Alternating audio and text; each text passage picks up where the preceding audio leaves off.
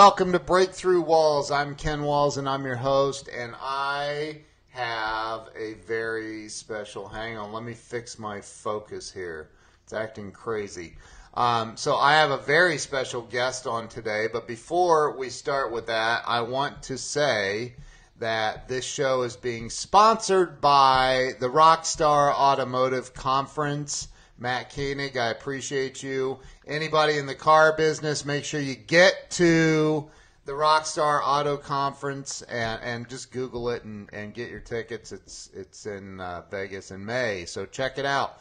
Anyway, without any more about that, I want to welcome my really, really, really special guest, Dr.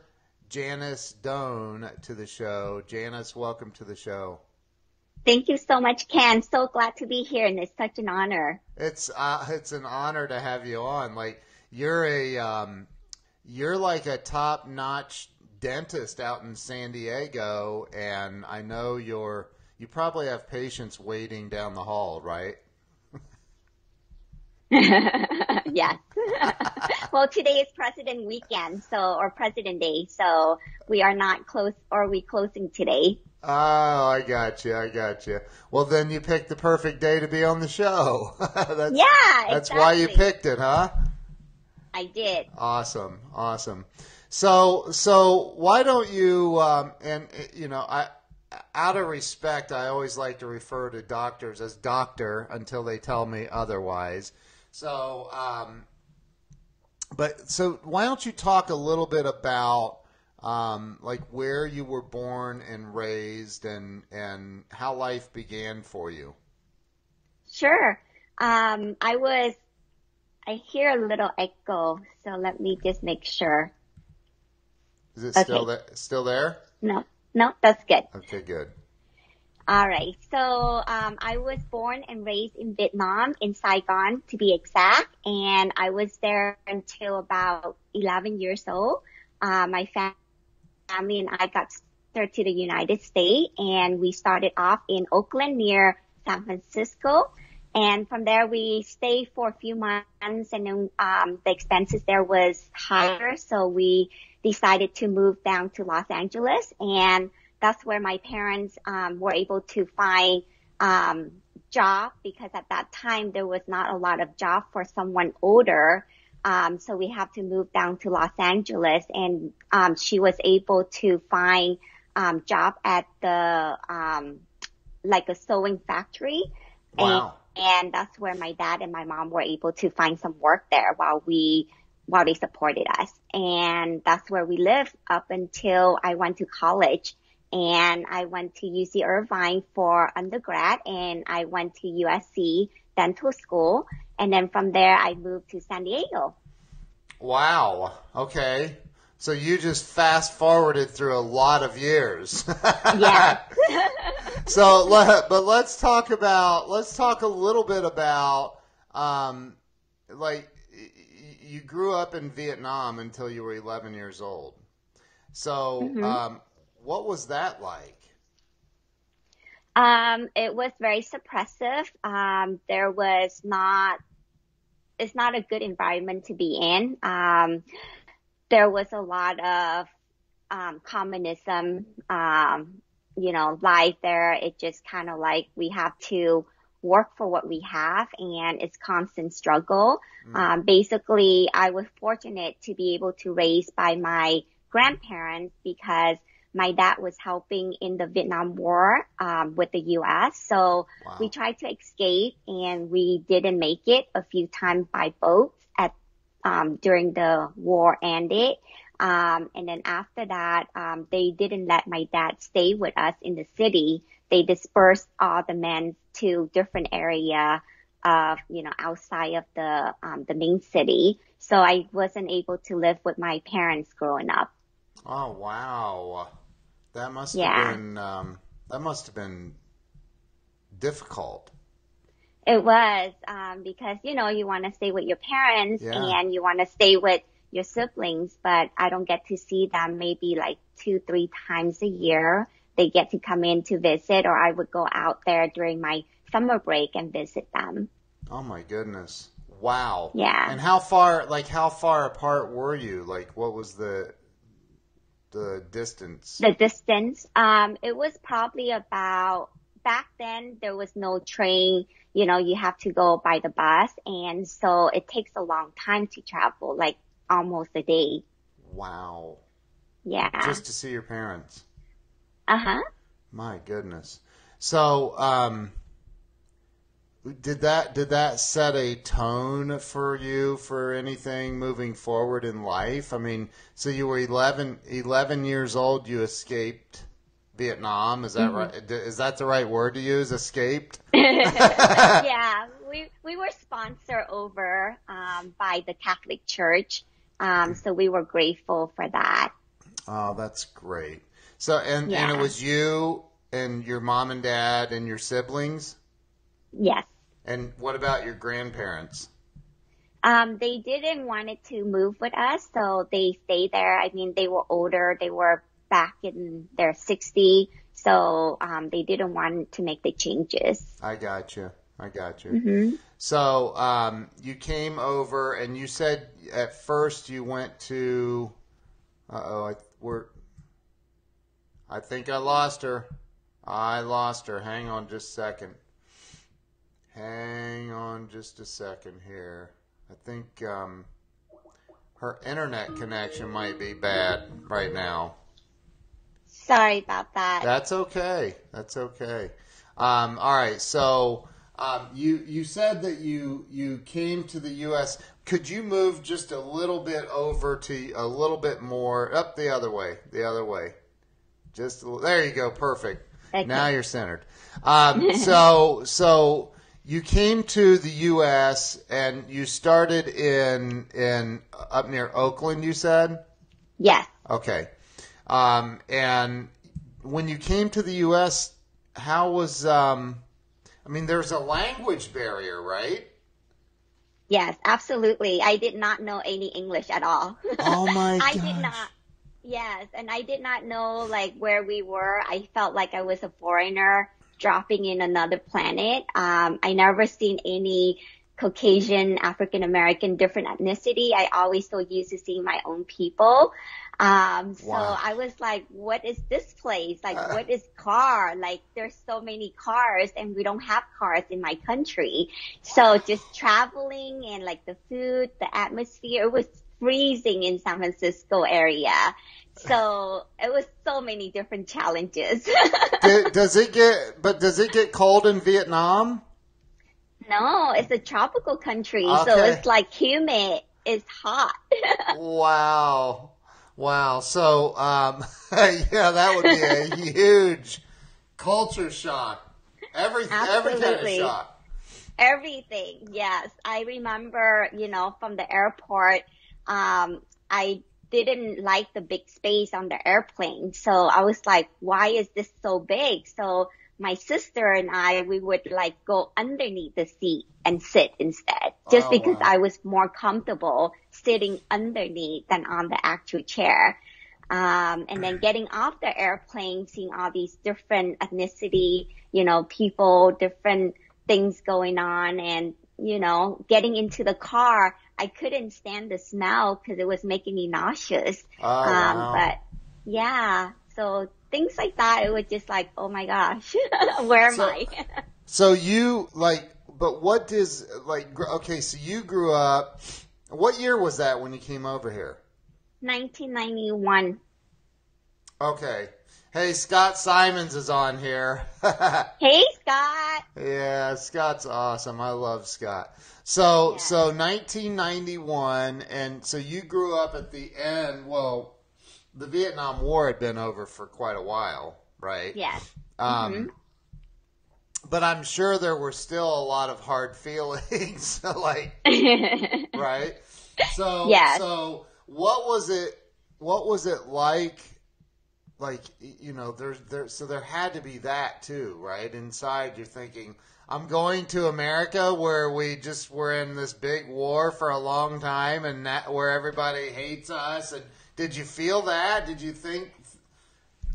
Oh, well, I was very ignorant. I was a young child. My parents didn't really tell me mm. anything. They actually told me we were going on a vacation.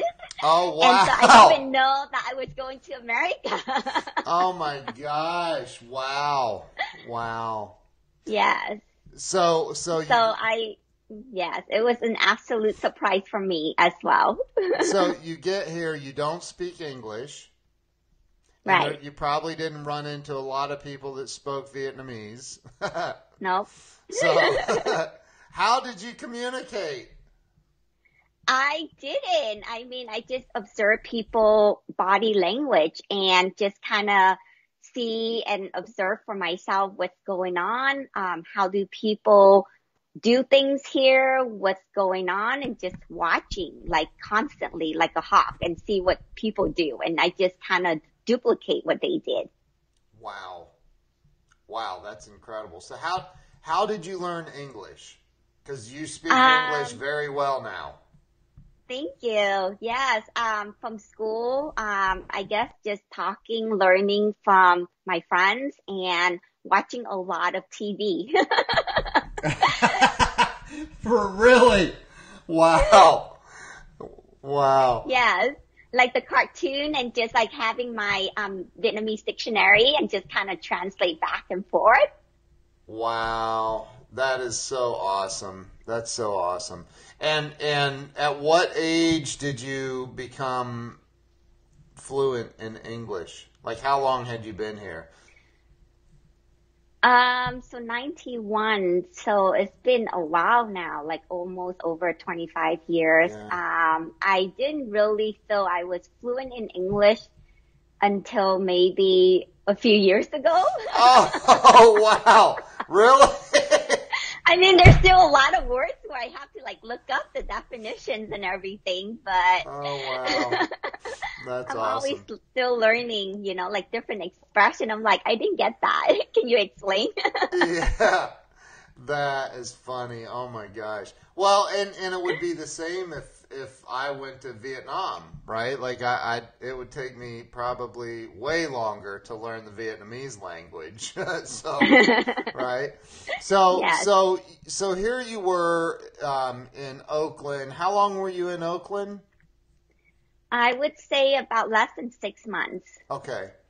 So, and then you ended up in Los Angeles, right? Yes. And how long did you stay in Los Angeles? Your whole life, or from as an adult or child? I mean, Mm-hmm. Yes. where did you go to school down there? Um, at Baldwin Park High School. Okay. So it's more like a more mixed, um, Latino communities.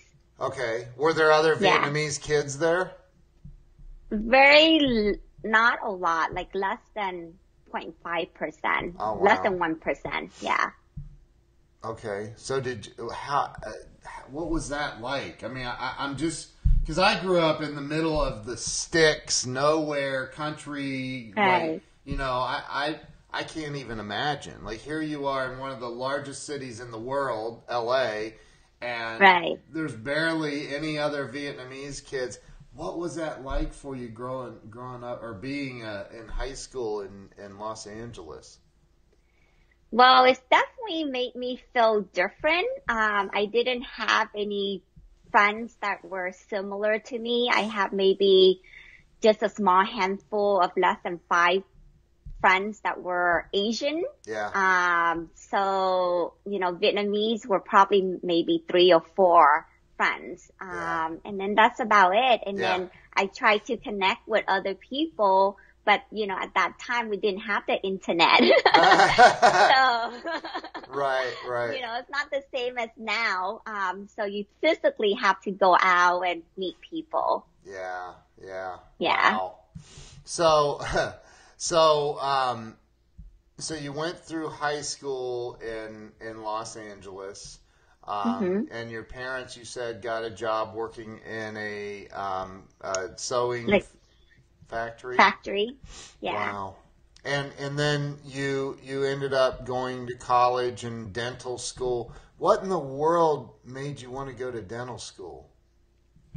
That's a great question, Ken. Uh, my sister actually um, started dental school before I did, Oh. and so when I was in college, I was looking at different um, career path, and I happened to stumble into her school and helping her and watching her and what she's doing, and I was very intrigued by that.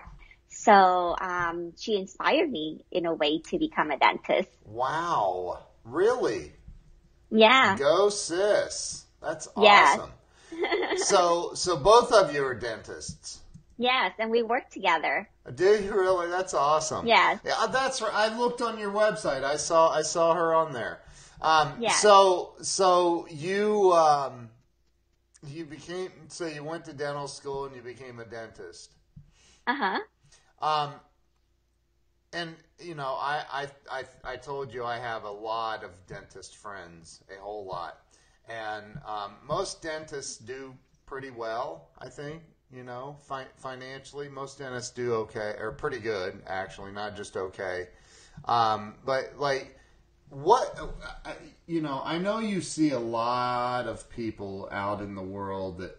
You I- I think that it's absolutely amazing what you've accomplished because you here you are. You come to the United States, you don't know a word of English, right? Mhm. Um, you, you can't communicate with anybody. you get plopped into to, to a high school in, in one of the largest cities in the world, um, in Los Angeles, and you don't know anybody, right? Right. And you you Right. and then you you go and blow up and become a dentist. Wow. What was the driving force for you? What was it that made you? I mean, because you have, you have. Um, I mean, dental school isn't cheap. Number one, I I know it's three hundred grand just to go to dental school. like it's it's a lot of money, right? So, like, what made you? Th- what was the driving force? Why not just go get a job in a in a sewing factory? well, I saw how hard my parents worked when I was younger. Um, you know, going after school, um, going home and helping them like until midnight for them to meet the deadline. You know, we cut things and we sew things for like one penny at a time. Oh. I mean, it's just a lot of work for just so little money. And I saw how much hard work that they put into and the sacrifices that they did. And I realized at that time that I needed to do something different. So then that way, you know, I didn't waste their time of trying to get us over here for nothing, you know, like I want to make their sacrifice mean something because they left their family, their friends, their country where they used to to bring us over here. So the sacrifices that they did for us, like I want to make sure that I was able to give back to my parents. Um, so that was what driving me. And I knew that I wanted to do more than what, you know, I, I saw my parents were doing. So I wanted to help more people and I wanted to help myself. So I wanted to make something out of myself. Um, but Wow. yeah, I mean, the work itself, I just learned and watching my parents like doing all this small work for very little money. And I knew that I have to do something more than that. Wow. That is absolutely incredible. I love that answer. So let me ask you this. So um, Martin and Chelsea Matthews are on here, by the way. I love them. Stephen Fowl, what's up? So so so there's okay i'm this is going to sound horrible Uh, all the americans on here right now are probably going to leave and unfriend me but there's a lot there's in in in america um, there are a lot of people who um, who feel like they're owed something right and that's probably all over the world right but but the the the people that I mean you did you didn't you could have been a victim. You could have been like, I can't believe they moved me here to this country where I know nobody, don't speak the language, and you could have been that victim, right? But you chose a different Right. path. Yes. what do you think keeps people stuck in a victim mentality? And in this country, it's huge. There's a lot of victims. A lot of people that that. I mean, bad stuff happens to everybody, right? Mm-hmm. Right. Unplanned for things occur, and and people fall into that victim mentality. So, what what do you think keeps people stuck there? I think that people get so used to doing the minimum and wanting to get bigger results. Um, and they don't want to do the work. Um, if you don't do the work, you're not going to get the result you want. So I think they get stuck there because not that they're lazy, but they just don't know how to take more action. They don't want to take more action. So it has to start with them not wanting to change in order to have more things in life that they would like to have more of. Wow. That's a great answer. It's a great answer. Yeah. So, so uh, along your journey, have, have you have you met people or helped people change from having that mentality? Yeah, absolutely. I met a lot of people um, through you know, my practice, my patients, getting connected with my patients on a daily basis. Yeah. I'm not just helping them with their oral health or their dental needs, but I'm helping them change their life as well. Um, you know, just a little bit of dental work. I mean, I relate to my patients so much on so many different levels because when I was younger, I had really bad teeth. Like my mouth was a mess coming from Vietnam over here. Yeah. I have cavities. I have full gum disease. I have like crooked teeth. I have like yellow stain and everything. And yeah. I didn't have friends because of that. Yeah. Um, so people were just kind of like judging me because of the way I was looking. And it wasn't until I did my braces and then did some work on myself. That's when people started to, you know, notice me because I change. Because once I start changing, then I get to be more open with um, other people around me. Right. So, you know, like my patient the same way when they first come to see me, they so into themselves, but just doing a little bit of dentistry helped their confidence and slowly they change their mentality and they change the mindset and they able to do more things because now they feel like they feeling good about themselves. right right? Yeah. And and so that all comes down to what you said earlier. Like you can't fix your teeth if you don't take action, right? It's not right. you can't you can't fix anything in life until you take action. And and you know, I, I like I see in the background, I'm gonna put it on full screen you but in the background, Grant's staring at me. I see him on the side yeah. of a binder over there. I see success yeah. as your duty, obligation, responsibility, everything Grant back there. And I love yeah. that because Grant Cardone has helped me. He's helped you. He's helped so many people. And, and, and he talks about that a lot. Like, what's the right level of action to take? Right? It's massive. Massive. massive right. It's massive action. So, like, with when when you come across people that that you know they need to change, not not necessarily their dental health either, just a person you might run into at the growth conference or something like what do you say to that person to get them to get them to start taking action? What how do you motivate people? You personally well a lot of um, when I was at the conference, I met so many different entrepreneurs at different stages in the business and just wanting to find out what is it that they want in life because everyone wants different things in life. You know, like not everyone wants um, a nice car or a nice house. They just wanted to contribute or make a difference or make an impact or just connecting with other people. So for me, it's just getting to know who they are, asking questions about, you know, where they are going, but also where are they now? Like what holding them back? And then from there, find out what is their main ruin of themselves and then give them one piece of advice. I try not to give so many or like talk about so many things because yeah. People are not going to take action when there's so many things to do. so That's you just have to start with one thing. I love that. Love that. Love that. You got to chunk it down, right? Yes. I, I, I, the that go the old saying, um, "How do you eat an elephant? It's one bite at One a time." Time. right? Yes. Like- I know that expression. That's funny.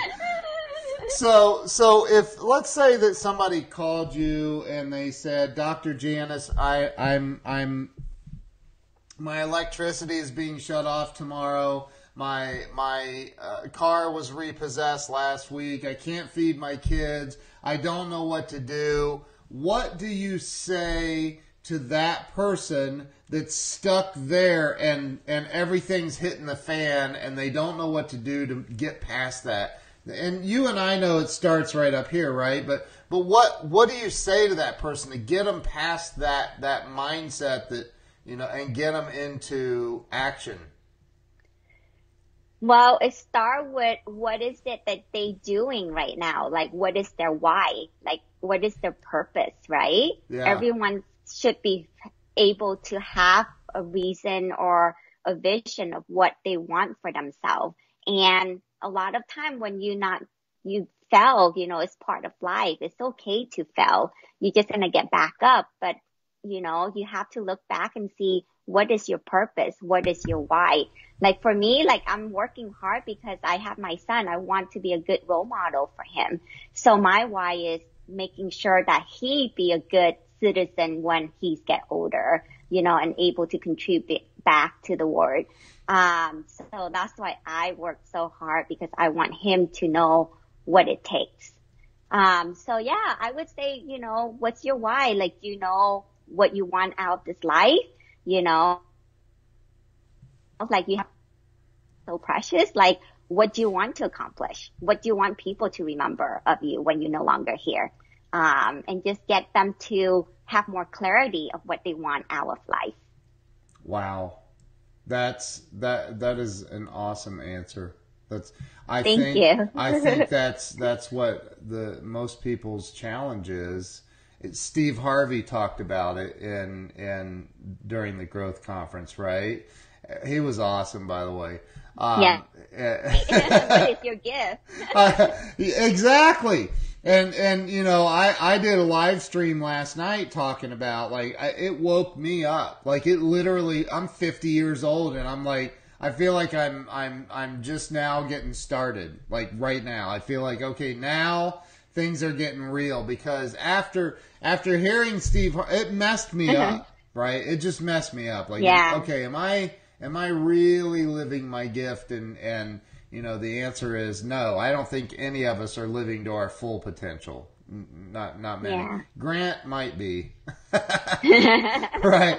He's getting there, Yeah. He's getting there. He's a work sure. in progress too. But you know that that's the thing is is I've seen I've been there personally where you know I had my car mm-hmm. repoed or I had the electric shut off or or I didn't have money to feed my kids and I'm and and and I look back at that now and I think man I just wasn't taking action. I just wasn't taking Yeah. action. If you take action, everything works out for you, right? Exactly. And then a lot of people get confused about actions. Like a lot of time they do things, but it's not really productive too. Right. So you get used to being busy, but Yeah. that busyness doesn't produce much too. Right. So, So, so have to understand what is taking action. right. Surfing surfing Facebook all day is probably unless Facebook's paying you for that, that's probably not the action you need to be taking. right? yes.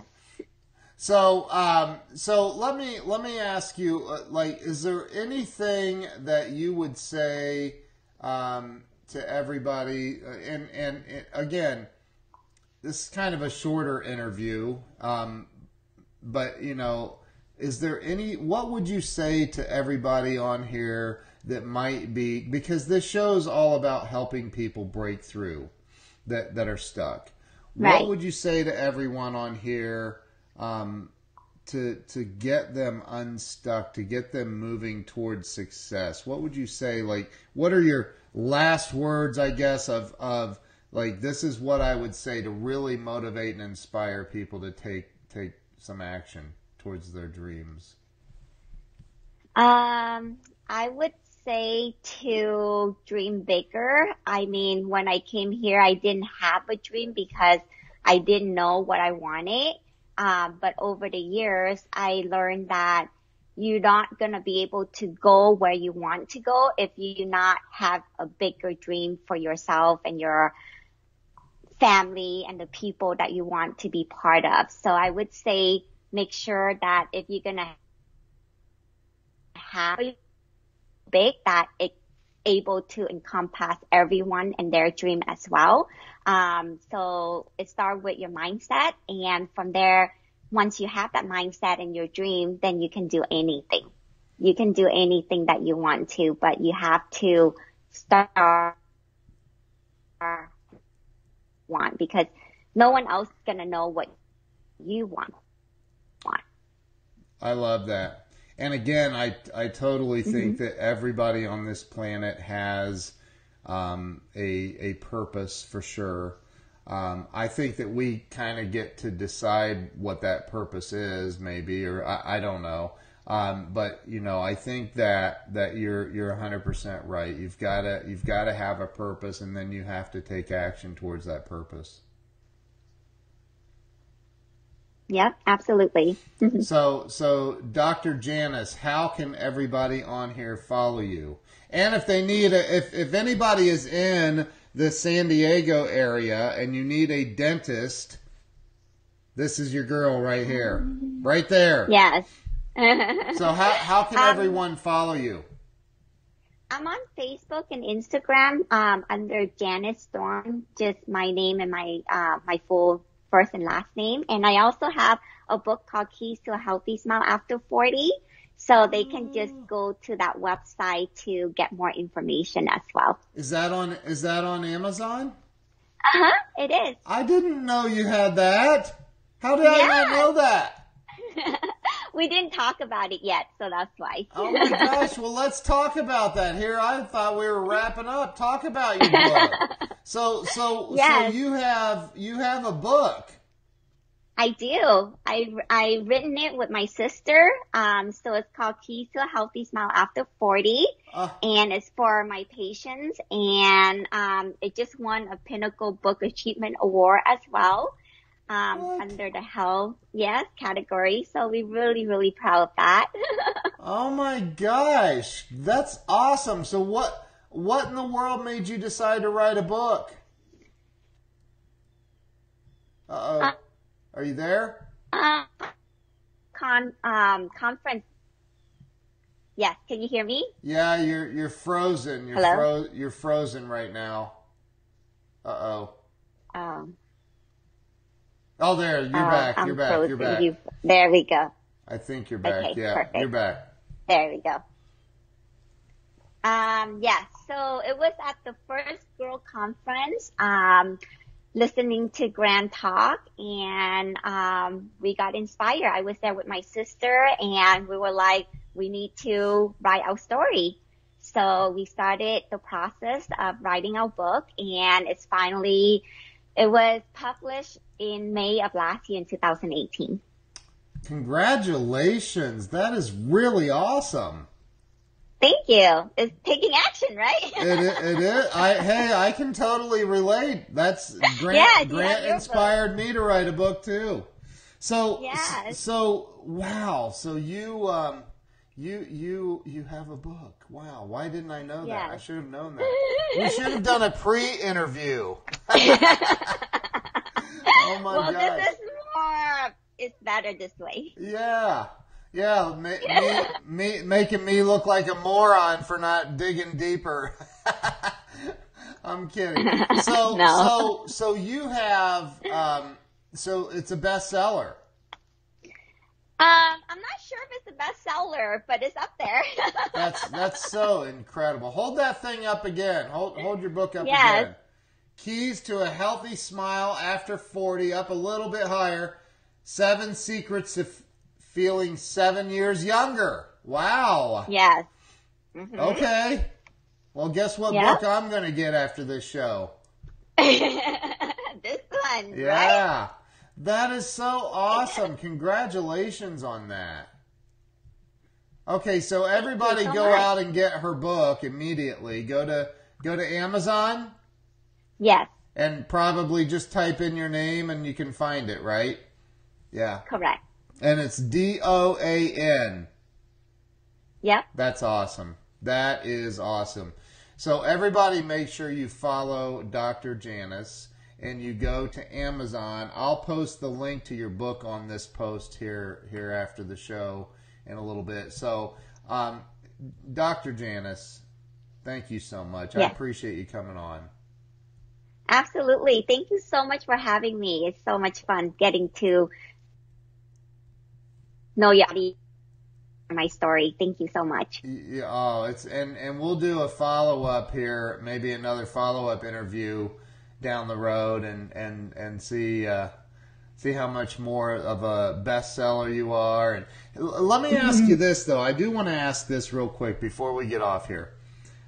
The writing the book because I, I have like a I have a, a an, an academy where we we go in and teach people how to write a book right like so many people don't even realize that it's not difficult um, so, but you know, when you think about what did writing a book do for you personally and your your your your you know mental well-being and what did it do for your business did it did it have any positive impact in your life Absolutely. It's like I'm proud of being able to have a book. You know, not everyone have a book. So me and my sister able to write a book and publish it, that's like giving birth.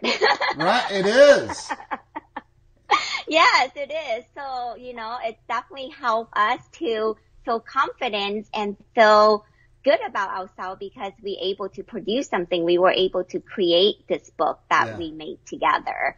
Um, it does help our patient as well. Um, and basically, sorry, um, I'm on my phone and so basically people are like texting me and calling me. So give Yeah. me one second for me to make sure that it got sent to voicemail. There we go.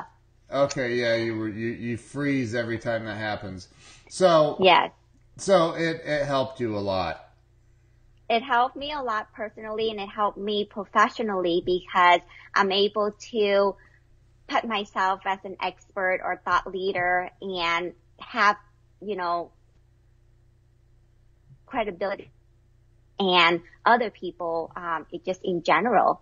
Yeah. Yeah, that's so awesome. That's so awesome. And I, I, I, I, I get it because people don't understand that writing a book. First off, most people don't write their book, and they should.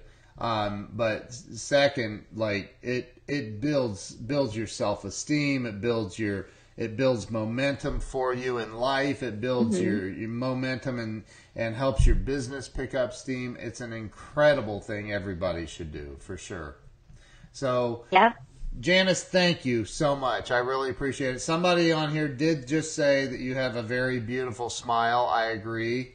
Um, I've I, I've actually Thank met you. dentists with with bad teeth, and I'm like, how how how can you be a dentist with bad teeth? That's not even like that's uh, like yeah. And of course, they can't pay their bills and can't figure out why. Like maybe fix your teeth, doc. Like, so anyway, well, thank you so much. Don't hang up on Skype. I'm going to end the live stream. Thank you to everybody who's been on here and watched this and shared this. Share this out. Dr. Janice, Yes. you have an amazing story. Your energy is incredible. I love it. Thank you. Everybody have a wonderful day and thank you for coming on.